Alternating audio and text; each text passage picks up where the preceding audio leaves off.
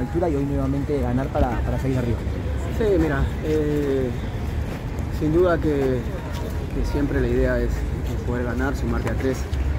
El día de hoy se puso más complicado porque vimos que ellos también defendieron muy bien. Eh, no hay que quitarle méritos al rival, hay que tener en cuenta que cada vez falta menos partidos, los rivales también están más, más enfocados en, en, los objetivos que, que quieren. Y, y, sin duda eh, la idea era poder tratar de, de, destrabar la línea que ellos tenían. ¿no?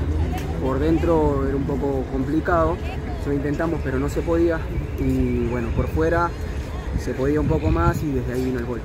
El, el, fin de semana ingresaste, hoy, hoy arrancaste y jugaste, jugaste 90, mucho mejor desde lo físico tú. Sí, sin duda que sí. Eh, estoy muy bien, me siento muy bien eh, en la parte física, era lo que, lo que estaba buscando desde un inicio. Eh, hoy en día te puedo decir que, estoy en, mi plenitud física y eso es lo que siempre me ha, me ha llevado a, a, a competir muy bien ¿no? en la parte física y dentro de todo me siento bien fue la última para cerrar. Eh, miran, miran más con, con, mayor atención, digo, la tabla del acumular, pensando en lo que pueda pasar al final y, de repente forzar semifinales con otro equipo, o, o, miran también con mucha atención lo que pasó en la clausura. No, mira, lo que nosotros estamos mirando y muy enfocados es en, en partido a partido. Eh, ganar, ganar todo lo que se nos viene. ¿no?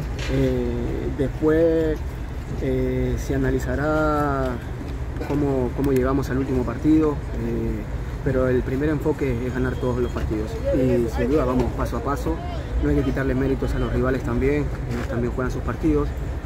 Eh, como te decía, cada vez eh, va a ser más complicado porque todos están muy enfocados en, en, los objetivos que quieren, cada vez falta menos, pero nosotros estamos muy enfocados en, lo que queremos. Te agradezco, te mandas saludos a Alan, que te bendiga. Muchas gracias, mándale mis saludos a Alan también y bueno, buena suerte para todos. Dale, ahí está. Ahí está.